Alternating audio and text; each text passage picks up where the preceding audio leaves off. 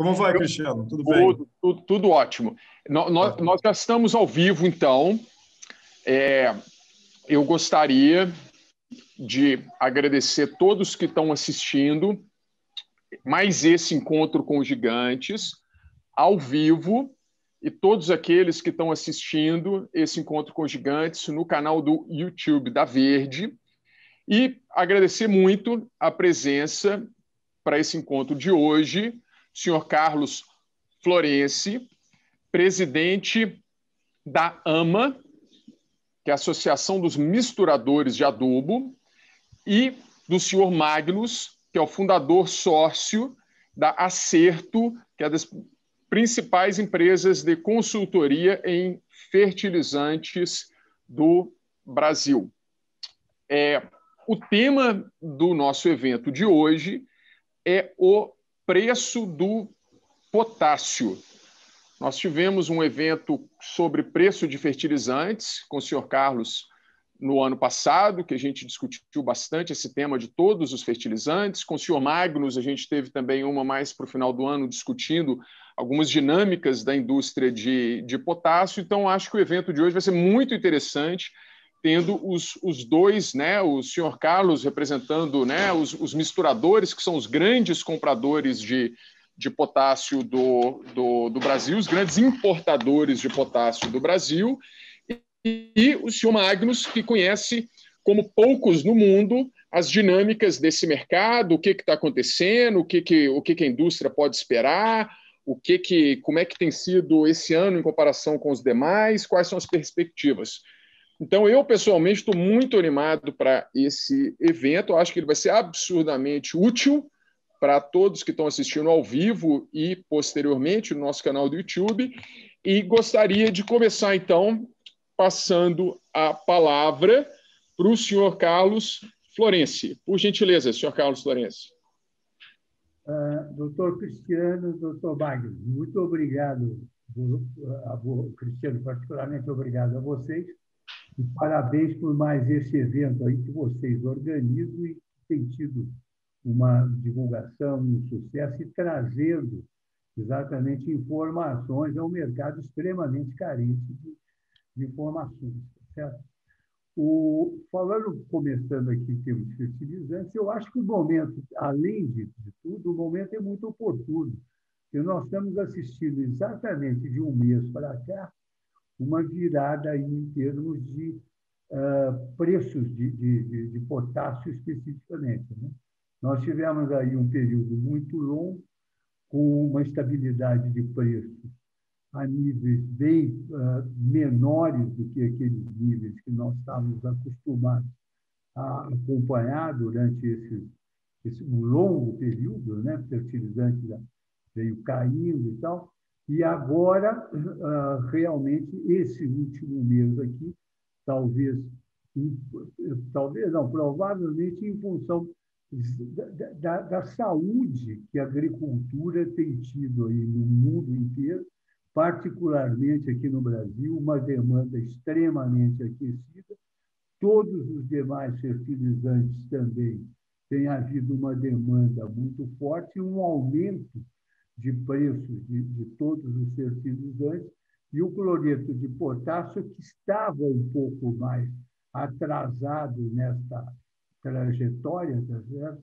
Então, da mesma forma que ele demora mais para cair, também ele demora mais para uh, aumentar o preço. Então, eu acho que é um momento extremamente oportuno para nós fazermos esse encontro e o Magno, com certeza, trará informações robustas aí nesse sentido também. Tá certo? Obrigado, senhor Carlos. Senhor Magnus, por, por gentileza. Olha, é, eu coloquei aqui uma, uns dois ou três slides só para mostrar né, como a situação do potássio, os preços. É, vou passar aqui, vou dividir então minha, a minha, como se fala esse screen. Eu vou, como é que eu faço aqui? Só um momentinho.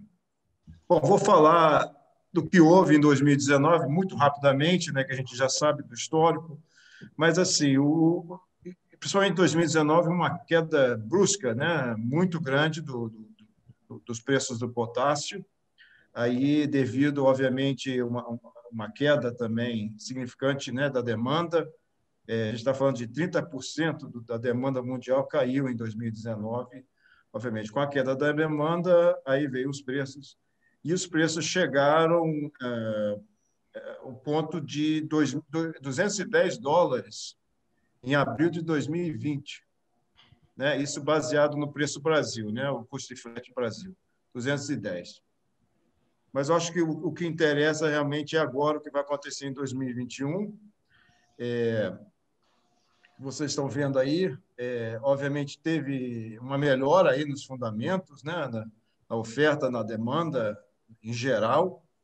E a gente também veio, é, a gente, nós vimos é, esses contratos de longo prazo sendo finalizados na Índia e na China, é, um pouco antes do que eu esperava. Eu esperava isso ocorrer mais ou menos em fevereiro, final de fevereiro, mas ocorreram antes. Agora sim, houve um, um, ficaram alguns produtores é, demonstraram essa decepção, né, com ajuste, que foi só de 17 é, dólares na Índia e 27 na China. E a expectativa é que eles queriam em torno de 40, alguns até 60 dólares de aumento em cima do contrato anterior. E o outro ponto é, que a gente tem que observar também que o, o potássio, em relação, e como o Carlos falou, né, é claro que demora a subir, mas o gap entre o MAP, principalmente em relação ao MAP, é muito grande, né? entre o potássio e o MAP, digo. Então, a tendência é disso uh, diminuir agora. Né? É, agora, baseado nas conversas que eu tive com alguns do, dos, dos, das fontes, né, dos stakeholders do mercado, a expectativa é que o, o preço do, do potássio chegue a 315, a 320, até meados. Talvez chegue até antes disso. Talvez em maio, uh, talvez até em maio já chegue a esses preços aí. A gente já viu aí que 300 já é o novo benchmark do, do, do, do preço do, do, do, potássio. E é isso aí. Tem o histórico aí, vocês podem ver é, o, o, o, gap né, que existia entre o, o, o MAP e, e, também em relação ao, até mesmo à ureia. Né? Inclusive, se vocês verem aí, o, o, a, o, o, potássio chegou abaixo da ureia, o preço da ureia. A ureia tem subido e o MAP, obviamente, tem subido a níveis que realmente são enormes, né? Não são recordes, mas é, são níveis muito altos, muito altos, e a gente espera que esse gap vai então diminuir entre o cloreto e o MAP. Obrigado, okay? obrigado, Magnus. É, eu tenho uma primeira pergunta. Deixa eu, deixa eu só tirar aqui, só um momentinho. Só para uh, um detalhe aí muito bem exposto pelo Wagner, é que foi só a, a, BP, a BPC que fechou aí aquele preço de 247, né? É, exatamente, exatamente. Todas colocaram ah, vamos dizer, de uma forma espantadas pelo nível de preço que fechou, sinalizando que não estariam dispostas a fecharem a, a é. esse preço aí. É, não esquecendo que a BPC teve esses problemas, né? digo assim, essa expectativa no mercado, que ajudou também a levantar o preço, quando houve um, um pouco de, de dúvida é, em relação ao, ao suprimento do, do, do, potássio lá da, da Belarus devido à situação política lá, né? Isso também Exatamente. ajudou a levantar o preço. Uhum. Sim. E, e, senhor Carlos, como é que os membros da, da AMA estão vendo e estão se planejando para essa possibilidade de alta crescente do potássio ao longo do ano e, principalmente, também com essa alta volatilidade do preço do, do, do, do câmbio, do real, né? desvalorizações do, do real. Como é que, como é que né, ao longo, ao longo do, de toda a trajetória do senhor, o senhor viu várias misturadoras é, que performaram muito bem, várias né, que, que realmente foram são grandes casos de sucesso. Também o senhor viu várias misturadoras que infelizmente foram ficando por diferentes motivos ao longo ao longo do tempo, né? É, é, o que que o que que o senhor acha que que como que que, que, que as misturadoras têm que se planejar para um cenário desse?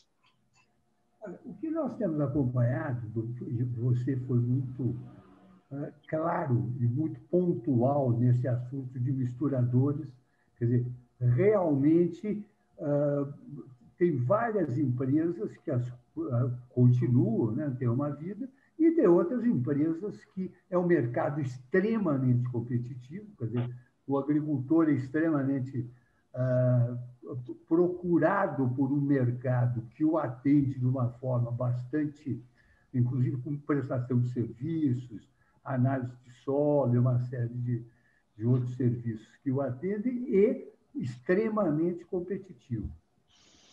Dentro desse cenário, o que o, o, o a empresa misturadora precisa se resguardar é exatamente dela uh, ficar devendo o mínimo possível em dólar. Quer dizer, ela eventualmente ter um, ou capital próprio, ou crédito dentro do banco, ou fazer um hedge, quer dizer, ele achar uma solução que ele possa se abastecer daquele cloreto uh, daquela mercadoria, das outras também, mas estamos falando especificamente de cloreto, ele vende este produto em reais, que não vai ter correção, né? e depois ele vai ter que efetuar o pagamento mais a longo prazo, ou de um empréstimo que ele fez em banco, ou do capital próprio, mas é ficar uma dívida em reais e não ficar devendo em, em câmbio aberto, que realmente grande parte dos problemas maiores que ocorreram com essas empresas no passado foi em função disso daí.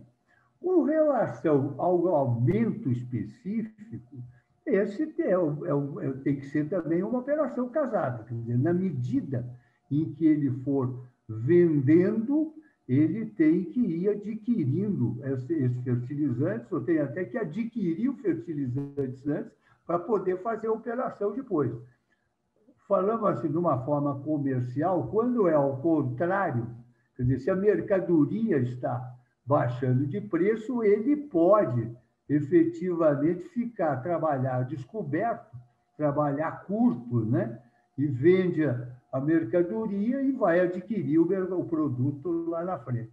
Mas não é o normal do mercado. O normal do mercado é a pessoa trabalhar considerando a base nos negócios, nas transações que ele já fez lá fora e já passa a vender aqui dentro do mercado interno. Essa é a, a, a tradição do mercado.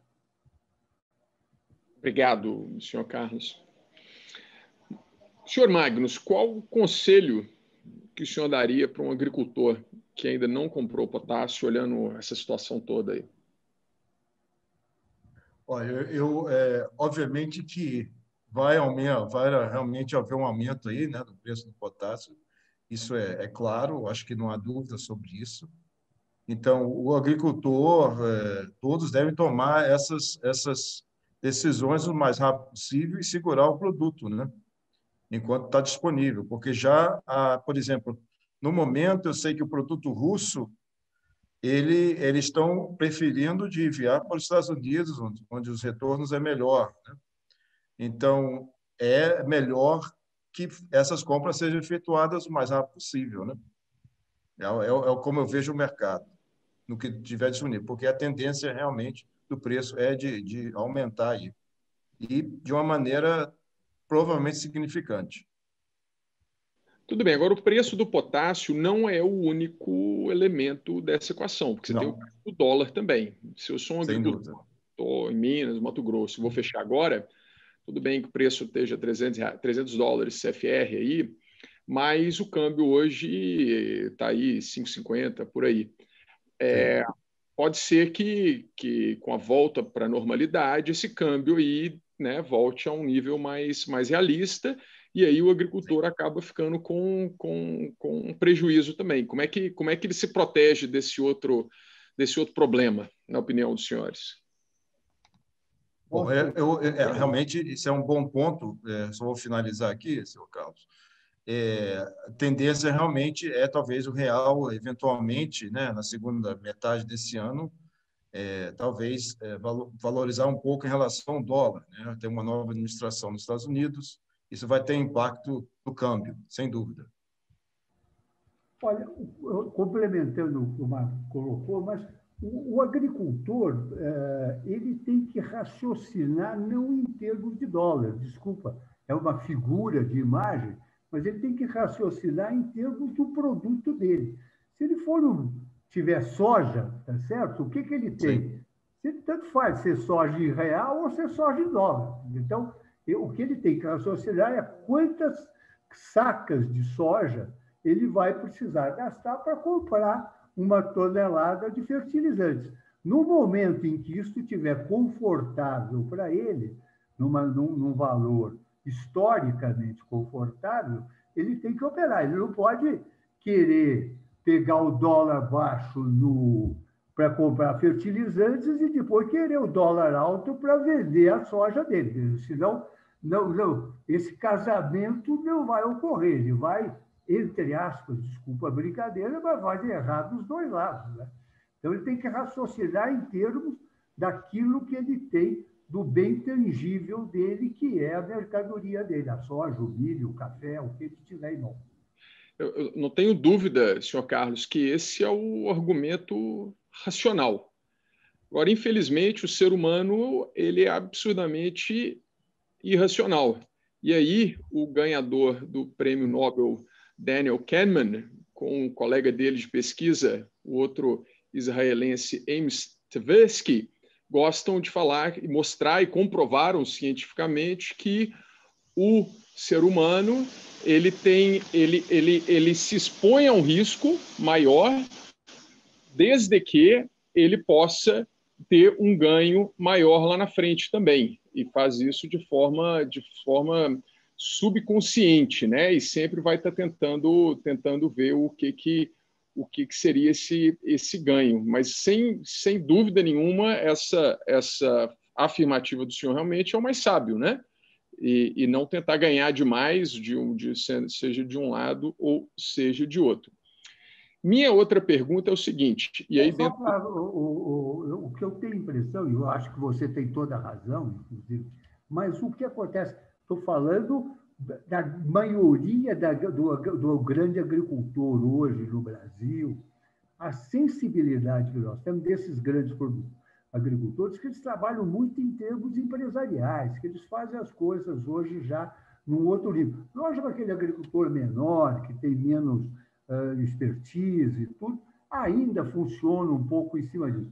Mas eu acho que a grande força da agricultura hoje é exatamente em cima desta uh, racionalidade aplicada à agricultura, entre investimento, retorno, comparações. Essa é a sensibilidade que a gente tem. Entendo. É, em 2008, eu lembro, né, que foi logo que eu, que eu comecei nesse, nesse mercado, 13 anos atrás, a gente vivia uma situação que o preço do cloreto de potássio já tinha chegado, ou estava prestes a alcançar 1.100 dólares a tonelada. Hoje está 300 dólares, cloreto de potássio chegou a bater 1.100 dólares. Uma coisa também que acontecia naquele período era que as commodities agrícolas, assim como é agora, também estavam absurdamente em alta, né? ou, ou, ou negociando nos maiores níveis históricos ou próximo dos maiores níveis históricos, como também está começando a acontecer. Os senhores veem algum risco que a gente tenha efetivamente um aumento no cloreto de potássio tão significativo quanto o que aconteceu nos anos de 2008, 2009? Magno, fala você. Primeiro. Sim, falo, eu falo, sim. É, bom, eu acho que não há possibilidade nem do coloreto chegar a esses valores, como o MAP. É, isso ocorreu num período que é, que é um período da commodity boom, e é um período que não acho que vai acontecer no futuro próximo, vamos dizer assim. Então, assim, vai ter uma. É claro que o cloreto, o preço do cloreto está muito é, deprimido, não sei se fala esse termo, mas está muito baixo e praticamente, em relação aos outros, aos outros nutrientes. Então, realmente tem que ter um ajuste para cima aí do, do, preço do cloreto. É, agora, se vai chegar a esses níveis, eu duvido muito. Eu só, é, é, Carlos, você mencionou a, a, relação de trocas. Eu queria até aproveitar aqui e mostrar um gráfico que a gente sempre coloca no nossos relatórios semanais, é, só para vocês observarem o que está ocorrendo no momento. Eu posso dividir esse só um segundo para vocês verem aqui? Por favor. Claro, por favor. Sim, sim. É, só um momentinho. É, você vê aí o típico, né? O, N, o NPK, né? O, que é o mais bom, é o, é o, é, vamos dizer assim, o benchmark né, da, da soja, em relação ao preço do, do MOP. Você está vendo a relação de troca aí, e você vê se chegou a, a, um nível muito favorável né, ao agricultor, mas a gente está começando a ver a subir aqui agora. Uhum. Estão vendo aí? E olha aqui subindo também. E apesar da queda, né, tem acompanhado, mas você vê que caiu muito né, a relação de trocas. Eu achei é. interessante de ver isso. A relação de troca ficou extremamente favorável. É. Né? Mag, você consegue. Tem comentar? Sim. Você consegue esse gráfico voltando lá até 2008? É, é... Bom, a gente está indo para 2017, na verdade. É. Julho de 2000, aqui, ó, aqui para fevereiro de 2008, olha aqui. 2008, não 18, 2008. Ah, 2008, não. Foi quando, não. quando a gente teve, assim sim, como sim. a gente está vendo hoje, um ciclo realmente de, de, de, de, de altos preços. De, de... É, não, é, é, infelizmente não tenho, eu teria que ter esses dados, realmente eu não tenho esses dados, porque a Acerto é uma empresa relativamente nova, né? Eu, eu acho interessante porque eu lembro daquela época de eu Sim. conversando e, e é, é, a primeira viagem que eu fiz para entender um pouquinho do, do, do, mercado, lá em 2008, visitando alguns players do setor, e eu lembro que uma reclamação comum era que, embora as commodities agrícolas estivessem em preços recordes, os agricultores estavam estavam estava sobrando muito pouco para os agricultores na visão deles por conta do aumento do preço dos fertilizantes, que foi quando o senhor Carlos vai lembrar, teve um movimento muito grande dos agricultores que, que pressionaram na época o governo federal, pressionaram a Vale, a Vale comprou é, é, os ativos lá da, da Bung, que posteriormente vendeu de volta para para a Mosaic, a Vale fez algumas movimentações de aquisição de ativos de potássio fora do Brasil, principalmente em, no, no, Canadá e na Argentina, e uhum. que e que e que, que foi mais ou menos, entendeu? Então, eu, eu não sei se, se, se o Goldman Sachs, né, o JP Morgan foi outro banco que recentemente veio falar aí num relatório sobre o super ciclo das commodities que, que segundo eles, começa a partir de agora. É, eu fico na dúvida até que ponto a gente tem um risco de, de que a história vai se repetir e que nós teremos algo parecido com o que, que, com o que, que aconteceu em 2008 no, no, curto, no curto prazo. O grande problema, Cristiano, desta, desse movimento, e em 2008, se vocês lembrarem bem, é que os misturadores, as empresas que importavam fertilizantes, eles se abasteceram com o cloreto desde 800 dólares a 900, mil dólares, 1.100 dólares, até alguns casos pontuais, tá certo? no primeiro semestre, guardaram esse produto, recebendo o navio no, no armazéns, armazenando nas suas plantas. Foi uma, uma movimentação, exatamente porque o, o produto subia todo dia. Então, o que ele fazia? Ele comprava hoje para não pagar mais caro amanhã. E foi se abastecendo. Quando chegou no dia, salvo engano, dia 14 de setembro, foi o problema do Lehman Brothers, despegou tudo. Então, e, o, o, o, mesmo cloreto que estava 1.100 veio para 200 dólares, 250 dólares. Só para pegar um produto paralelo, você chegou a vender enxofre naquela época a 800 dólares a tonelada. Uma semana depois, você tinha que pagar para botar o enxofre no navio e mandar entregar em algum lugar de graça. Quer dizer, entregava o enxofre pelo preço do frete do navio. Então, então, essas empresas misturadoras com estoque caríssimo tinham que vender no segundo semestre, tá certo? A mercadoria que despegou completamente já. O, o cloreto que ele tinha estocado a 800 dólares, a 800, 1.100 dólares, ele, o, o, concorrente dele, de algum lugar, chegava com o cloreto a 200 dólares. Então, quebrou. Então, várias empresas tiveram problemas seríssimos em função exatamente dessa situação. Agora, bem, bem lembrado, senhor Carlos. Agora, logo em seguida, o preço pulou dos 200 para os 500. Sim, voltou a um patamar mais educado aí, foi, melhorou mas, e ficou algum tempo depois. Agora é que deu essa, como o Magno mostrou, efetivamente veio uma redução significativa.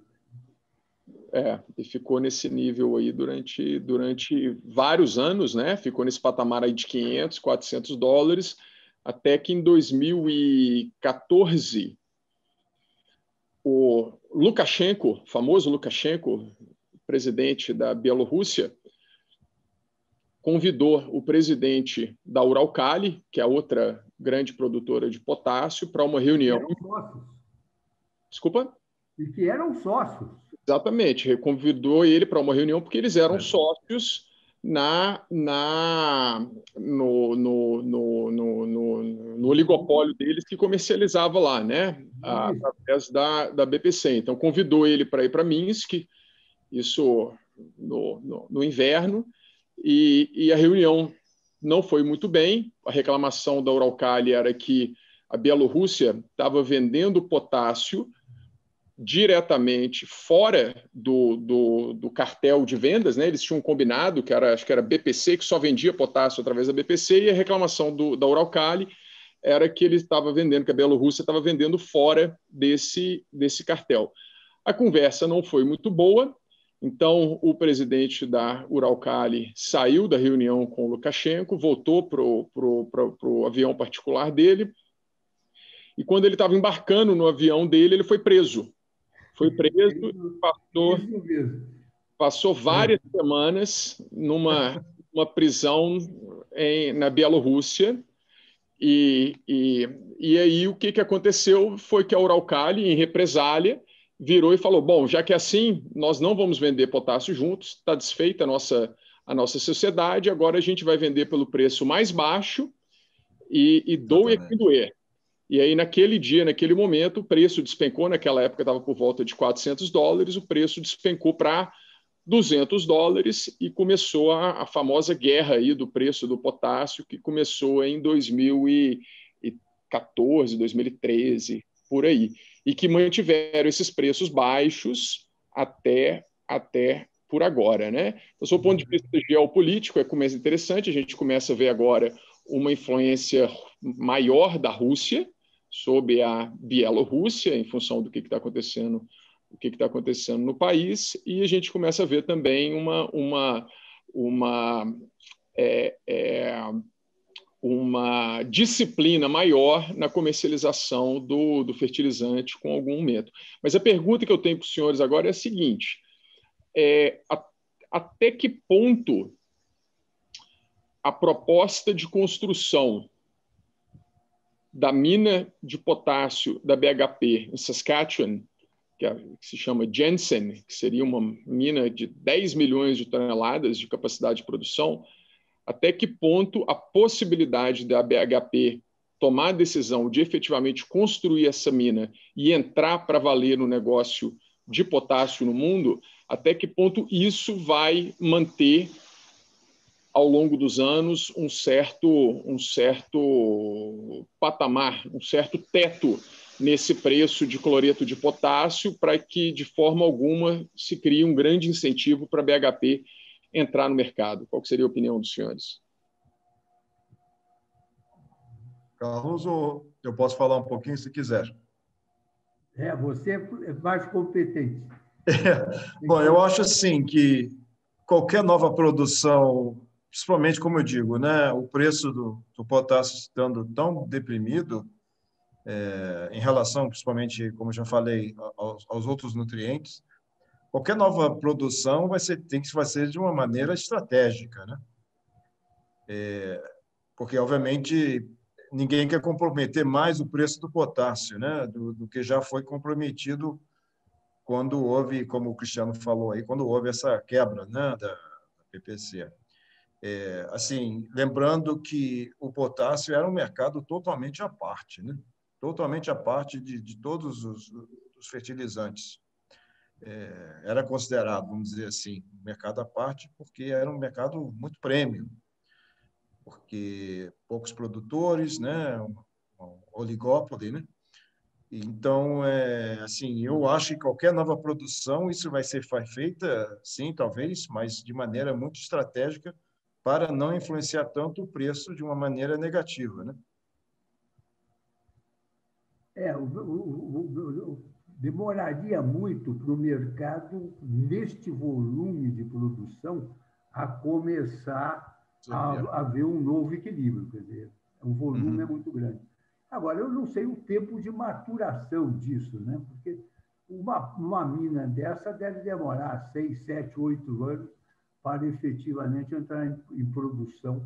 E, e a gente não sabe, quer dizer, se nós pegarmos só o exemplo, o Brasil, este ano aqui, aí o, o, os uh, volumes mais, as previsões mais pessimistas falam aí no aumento de 10 a 15% de aumento de consumo de fertilizantes e do potássio deve ser até mais. Então, efetivamente, a gente, cinco, seis anos hoje no mercado de fertilizantes é um prazo muito longo para qualquer previsão. Né? Sem dúvida. Perfeito. Uma outra pergunta. Está muito em voga os, os, critérios ambientais, sociais, de governança para investimentos hoje em dia, tal do ISG. E o cloreto de potássio, ele é metade potássio e metade cloreto. As pesquisas lá nos Estados Unidos mostram que um quilo de cloreto de potássio é equivalente a 8 litros de água sanitária em relação ao impacto na microbiota, nesses micro-organismos. Além disso, a FAO publicou um relatório excepcional no final do ano passado, destacando a importância da biodiversidade do solo, um tema que até recentemente ninguém, ninguém dava a menor importância, biodiversidade do solo. E a gente tem um insumo, cloreto de potássio, que um quilo apenas representaria 8 litros de água sanitária para matar esses micro-organismos, matar essa, essa microbiota. Quando a gente pensa no mundo, né, que são utilizados cerca de 60 milhões de toneladas de cloreto de potássio no mundo, seriam alguns bilhões de litros de água sanitária é, é, que tem um impacto muito negativo nessa, nessa, micro, nessa, nessa biodiversidade do solo, de acordo com, com, com o relatório da FAO.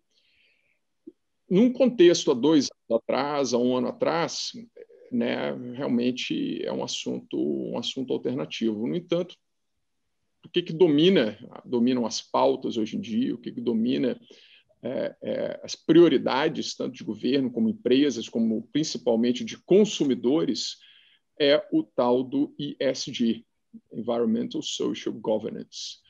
Então, a minha pergunta para os senhores é a seguinte: é a seguinte. Até que ponto a biodiversidade do solo, dentro desse contexto social que a gente está vivendo, até que ponto que isso representa uma ameaça para o cloreto de potássio no médio prazo, assim como nós temos vivendo, ou assim como nós temos é, é, testemunhado o que está acontecendo com a indústria de petróleo, na qual grandes produtores já estão fazendo declarações que, que, que parte das reservas deles efetivamente já não vão ser usadas por conta de mudanças de, de, de percepção. Então, qual seria a opinião dos senhores sobre o assunto? Obrigado. Mas eu acho que você é mais sua área aí, você. Depois eu tento falar alguma é, coisa. Assim, eu, é, assim, eu acho que isso é uma, é uma questão é, um pouco fora do meu, vamos dizer assim, um pouco fora do que eu faço no dia, no dia a dia, mas que realmente tem que é, ser considerado aí ao médio e longo prazo é, todas as questões né, de, de, de, meio ambiente, de tudo, é, obviamente vão ter um impacto na indústria. Eu não vejo, assim, não sei, posso estar enganado, mas eu não vejo isso tendo um impacto imediato ou a médio prazo. Isso que eu, eu acredito que seja mais para longo prazo, né? É, assim, por exemplo, há questões né, que são sempre levantadas, como se falaram né, da extração do potássio lá na Amazônia. Aquele projeto ainda, eu não sei, realmente não tenho acompanhado muito, mas acredito que teve muitas questões ali né, de meio ambiente e tal. Isso é sempre, sempre faz parte e é, é agora o, se isso essas novas legislações e tudo né, em relação ao meio ambiente. Eu não sei o, o quanto será o impacto, vamos dizer, a médio prazo. Né? Eu acho que isso é mais o longo prazo. Eu posso estar enganado, Cristiano, você talvez tenha mais uma opinião sobre isso. É, eu, eu, eu não, não tenho também conhecimento para poder dar uma opinião. O que eu é. acho é que, pelo menos no estágio atual da agricultura, pelo que nós conhecemos, o potássio é fundamental. Tanto é que é o fertilizante que mais aumenta o consumo hoje. Quer dizer, você consumia, sei lá, X anos atrás, é, o pessoal só preocupava com nitrogênio, depois entrou o fósforo, e o potássio agora vem crescendo de uma forma muito robusta ah, o consumo e a necessidade, vendo o benefício e a produção, qual é o reflexo do, e agora, lógico que vai ter, e em todos os setores, né? você mencionou o caso do petróleo, e todos os segmentos hoje, a própria agricultura em si, esse impacto que existe hoje de produzir, de produzir em lugares para não, não, não poder desmatar e tudo, existe uma, uma competição. Mas a necessidade de produzir alimentos vai levando a um, acharem soluções. Né? Eu não sei, é, não, não tenho base para isso, mas hoje gasta-se 8 litros para produzir, para você ter um quilo. De repente, vai diminuindo isso, vai conseguindo achar outros, uh, outras formas. Uh, inclusive, os que hoje tem no caso de fósforo, né, que você também tem um consumo muito grande, sendo que você aproveita, tá, solubiliza, não solubiliza, que você transforma solo, a rocha, separação da, da, da rocha, né, para poder depois reagir com, com o ácido sulfúrico, com o fosfórico, você consegue fazer de uma forma mais seca também, consegue com medo nada impede que o cloreto amanhã se venham a achar outras formulações e outras. A certeza que eu acho que a gente pode pensar é que não vai se parar, pelo menos a curto prazo, de consumir potássio. Qual a solução que vai ocorrer? É que nós, nessa altura, pelo menos com as minhas limitações, não dá para prever nada. Eu, eu concordo. No, no, curto prazo, muito, muito pouco vai mudar. Agora, eu não. Vendo tudo o que está acontecendo na indústria de petróleo, eu não consigo de parar de pensar quando a gente teve aquele último boom do petróleo, né? o petróleo 100 dólares, pré-sal aqui no Brasil, a quantidade de, de, de interesse, expectativas e projeções. E isso aconteceu poucos anos atrás, numa, numa escala. E, e, hoje um cenário realmente que, que, que as empresas começam a chamar lá reservas de petróleo como stranded assets, como ativos que, que, que não, vai, não vão ser mais extraídos. Né? É, é realmente é, é um eye-opener, né? abre os olhos realmente o tanto que as coisas podem mudar a partir do momento que você tem uma pressão social, uma pressão dos consumidores é, é, por, por práticas mais por práticas mais sustentáveis. Ah, com certeza. É. Isso, isso é, uma, é um, eu, eu acho que agora, né, isso tende a acontecer também cada vez mais rápido, né, com disseminação, rede social, tudo mais. Eu acho que que com a velocidade que a informação flui, então as coisas começam a acontecer numa velocidade impressionante, impressionante. É claro que a planta sempre vai precisar de consumir potássio, porque é um, né, um nutriente essencial. A, a, a, fisiologia disso é muito difícil de, de, de ser mudada, né? Sabe ah. apenas a fonte ou as fontes no mundo assim como assim como no caso do petróleo discute-se hoje em dia né o que que você vai o que que vai substituir né mais recentemente falando muito de hidrogênio de, de amônia como como como a forma de você de você transportar essa essa energia essa saber no caso do, do potássio o que que seriam aí esses, esses substitutos à, à commodity convencional do, do, do cloreto de potássio é, eu poderia só falar, assim, dar mais um comentário aqui. Eu, eu não sei, eu posso, de novo, assim, é uma área que eu não acompanho com frequência, assim, mas assim, eu acho que é uma diferença bem grande entre a indústria do petróleo a indústria do fertilizante. A indústria do petróleo, obviamente, tem está sofrendo mudanças grandes com as novas alternativas, né, de energia, né. É, então isso tem um impacto grande também é, e, e, a questão do fertilizante é uma questão de, de, de, food security, não sei como se diz isso em português. Segurança de comida, é isso? Segurança isso é uma grande. Hein? Segurança alimentar. Segura, segurança alimentar. Então, é uma questão muito grande. É, então, eu acho difícil a gente. Não sei, eu não sei se dá para realmente comparar muito, fazer uma, essa comparação com a indústria petróleo. Aí eu não sei, mas eu acho que a indústria fertilizante, é, pela, por, por, essa questão, é, diferencia muito, né? é bem diferente da, do que é da indústria petroleira. Né? Não sei como você vê isso, Cristiano. Eu, eu vejo com uma, uma, similaridade absurda a indústria do petróleo com, com a indústria de fertilizantes. Então, o, o petróleo assim como a comida, você precisa dele para viver, obviamente, né? segurança alimentar, o, o, o petróleo, a energia, você precisa dela para viver. Vai, vai conversar com o pessoal lá no Texas, que ficou lá uma Sim. semana batendo queixo porque, porque teve problema com, com, com suprimento de energia, entendeu? E, e, e, outros problemas também na cadeia.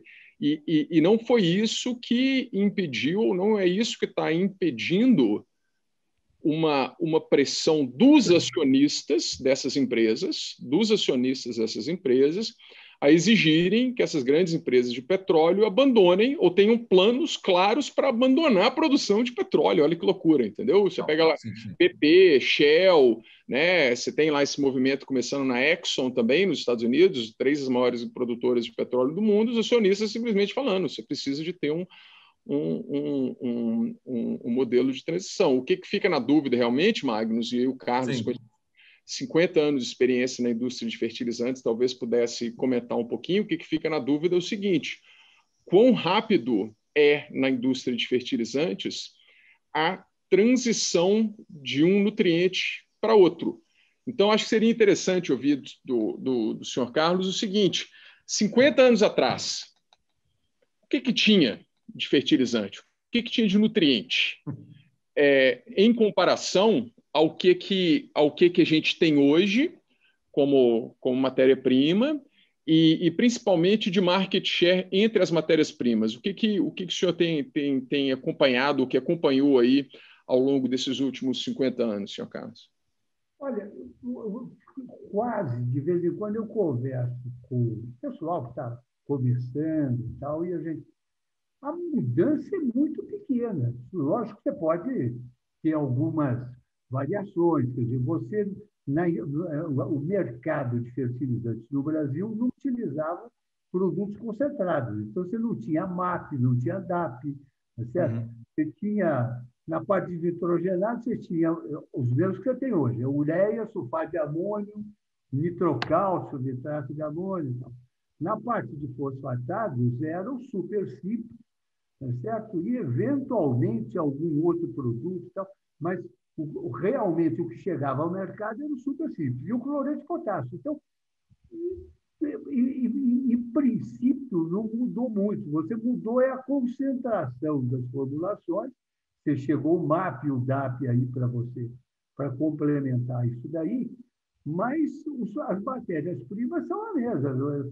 Sulfato de amônia, nitrato, ureia, no caso dos fosfatados, é MAP, DAP, suplicíplicos e, e triplo, e o cloreto de potássio, sulfato de potássio, que é eventual lá para alguma lavoura mais sofisticada e tal.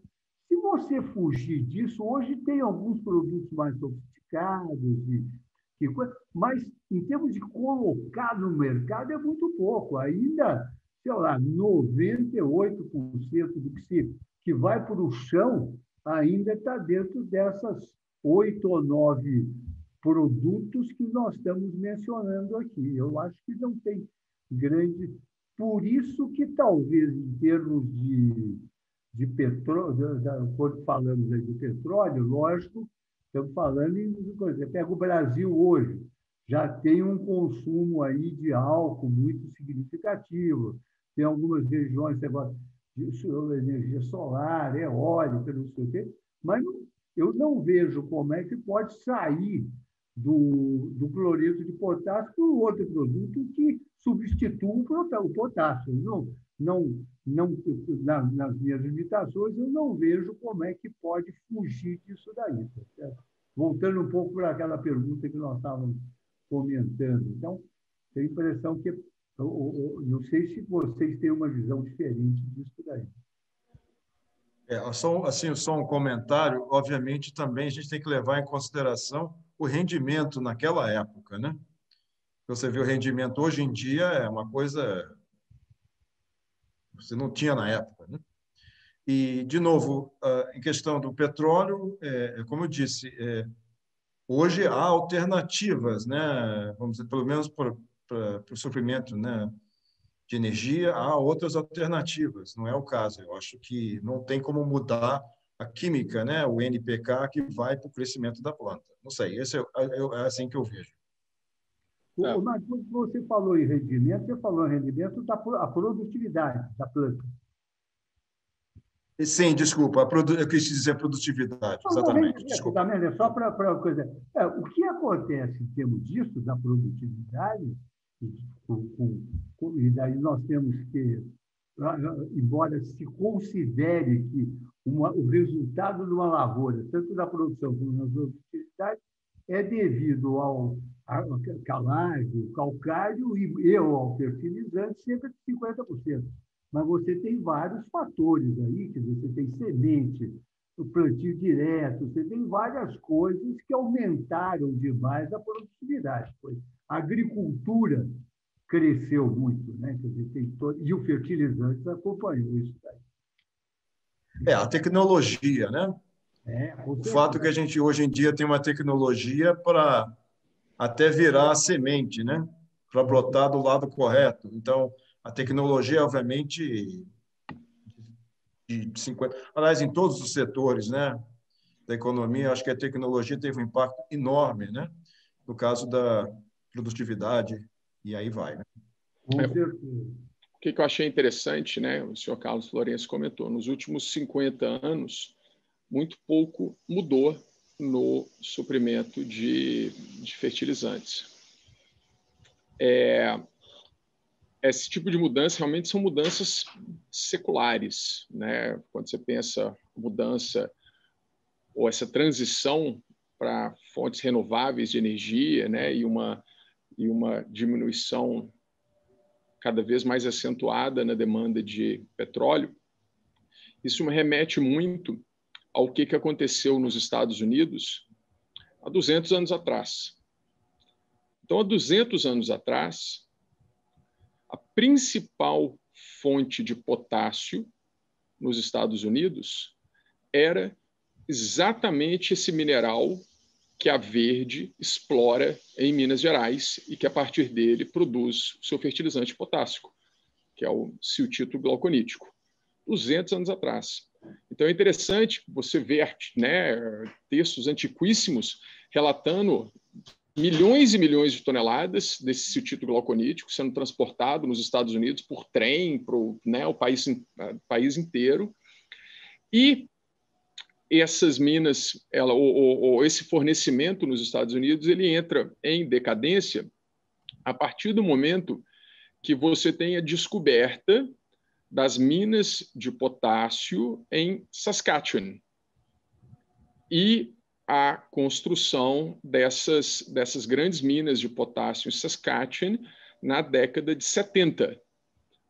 Antes disso, você tinha uma pequena produção de potássio em Utah, nos Estados Unidos, mas muito pequenininha, e o grande exportador de potássio do mundo era a Alemanha, de onde que, que, que vinha boa parte desse suprimento. Então, durante esse contexto, ou até ali, a principal fonte de potássio nos Estados Unidos era exatamente esse, esse mesmo mineral que, que a Verde explora. Quando se descobrem essas grandes minas de potássio em Saskatchewan, no Canadá, como você fazia um fertilizante muito mais concentrado, com 60% de K2O, enquanto que o siltito glauconítico lá nos Estados Unidos ele tinha só 5% de K2O, era um teor menor ainda né, do que o, o que a gente explora aqui no Brasil, que, que é 10% de K2O.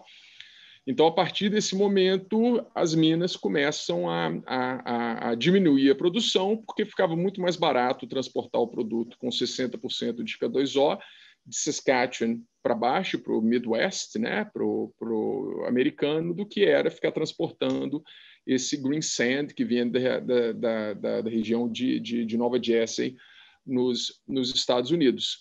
Mas foi uma mudança uma mudança secular, né? E, e, e que aconteceu com o, o, que se acentuou a transição a partir de um grande de um grande acontecimento que foi a construção dessas que foi a construção dessas dessas minas.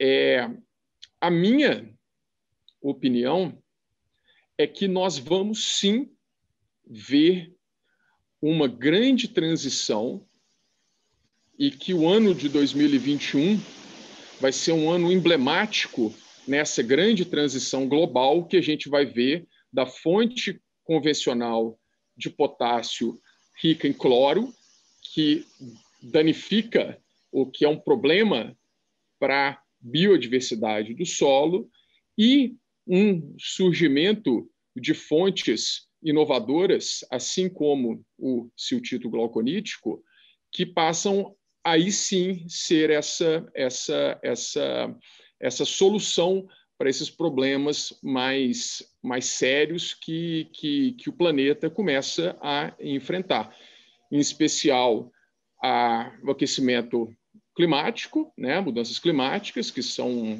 que são diretamente relacionadas também à questão de biodiversidade do solo por diferentes motivos e outros e outros e outros aspectos. É claro que assim como no petróleo isso não vai acontecer do dia para a noite, mas mas eu eu eu não ficarei surpreso se daqui 10 anos o uso do cloreto de potássio no mundo como fonte de potássio tiver reduzido para uma aplicação nicho ou para uma aplicação em países efetivamente que não tenham condições tecnológicas, assim como o Brasil, de ter fontes fontes fontes livres de cloro, né? E, e, então essa é a minha é a minha opinião pensando 10 anos 10 anos em diante. Acho que muita coisa muita coisa vai mudar e vai mudar muito muito rápido a partir de agora. Eu posso mais um comentário? em relação a isso, é, é, que você está falando, né, o impacto né, do meio ambiente, é, eu acho importante também enfatizar é, a eficiência né, de como esse, esse, esse fertilizante é aplicado no solo. Né? A gente, como você falou, em muitos países é, não há uma maneira eficaz de aplicar esse, esse, esse, este nutriente, né? um nutriente geral, um fertilizante. É, a gente vê isso, por exemplo, na Índia, que consome volumes enormes né? de cloreto, de, de, de MAP. E eu só queria adicionar isso, é importante a gente acompanhar o que está acontecendo na Índia, porque eles estão tentando reformar o sistema lá, é, porque é um sistema que não é eficiente, né? E, apesar de todos os protestos, eu acho que vai, vai haver mudanças é, significativas, se não fundamentais, na Índia, de como, né, o, como o setor agrícola é, vai mudar é, de uma maneira fundamental, ou pelo menos de uma, de uma maneira significativa. A, gente, a gente sabe que realmente a maneira de há muito desperdício de como é aplicado lá, a eficiência né, do, da aplicação do fertilizante.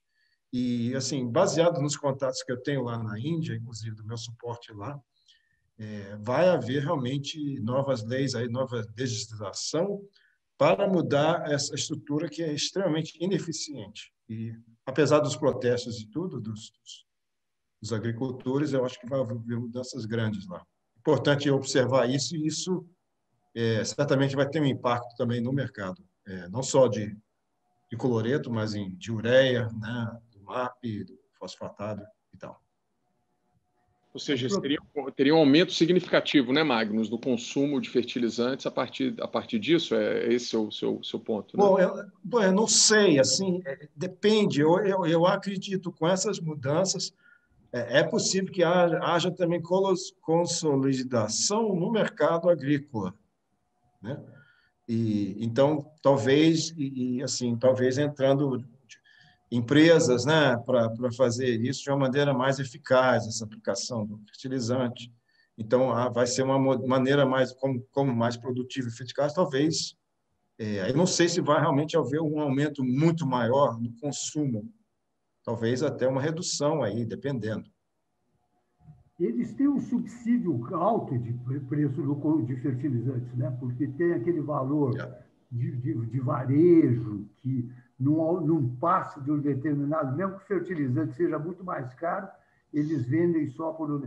É, é toda uma economia artificial que complica muito umas soluções e envolve a parte social lá, que é seríssima. Né? Quer dizer, e é do, graças a isso aí o Brasil tem uma estrutura agrícola hoje extremamente independente e a tendência desse crescimento nosso aí e é o papel que ele vai ocupar e já ocupa hoje no mercado internacional. Exatamente.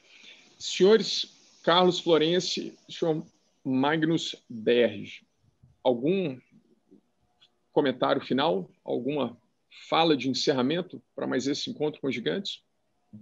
Eu não sei se os, os, os é, como é que se chama, os attendees, né, as pessoas que estão aqui, eles vão participar de, de algumas que talvez queiram, tenham questões, aí não sei se isso vai ser feito.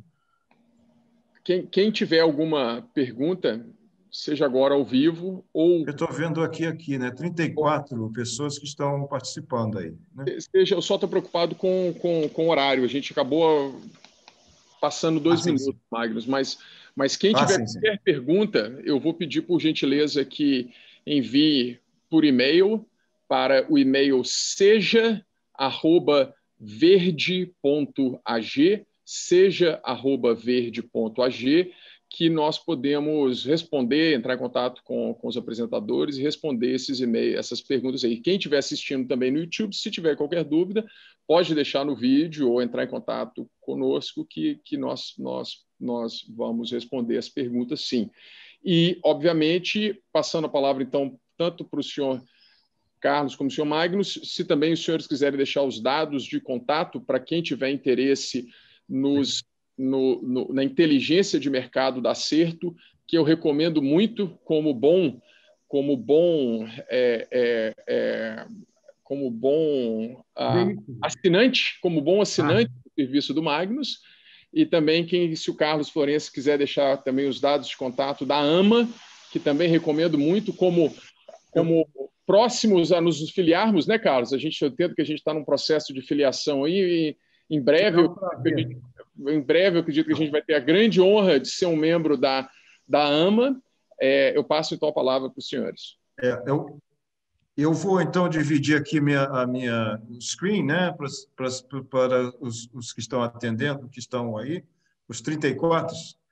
É, só um momentinho, vou colocar aqui para verem, então, os meus dados. É... Magnus, são, são 34 aqui ao vivo. No entanto, no YouTube, depois tem vídeo que tem 10 mil visualizações, entendeu? Ah, sim. São 34 Poxa, aqui, mas depois bom, no canal, no canal com, tem, tem vídeo lá que já tem mais de 10 mil visualizações. Excelente. Eu, eu ia pedir, Cristiano, é, também você mencionou desse relatório da FAO, eu acho que seria interessante, não tanto para nós aqui, os palestrantes, mas também para, para todos né, que estão assistindo, talvez um link para esse relatório da FAO. Me pareceu muito interessante o que você mencionou. E talvez de outros links, aí eu não sei. O, link vai estar na descrição do vídeo. Então, se você está assistindo o vídeo no YouTube, pode olhar na descrição que já tem, vai estar o link aí para você também pro, pro o relatório. E se você está assistindo esse vídeo, espero que já tenha acabado esse Covid, que esteja todo mundo vacinado, que isso seja apenas uma, uma, uma lembrança distante aí, muito em breve.